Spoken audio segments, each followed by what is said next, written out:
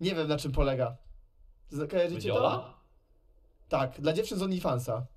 Ja pierdolę, niesamowite to jest. Zrobili. Polska gala. Ale to w jakimś kiślu chyba będą walki, czy nie? W Kiślu? Ja zaraz powiem. No się, nie pamiętam nazwę. Może gala, a nie gala, ty. To się, na, to, to się nazywa, wiesz jak? Only Fights.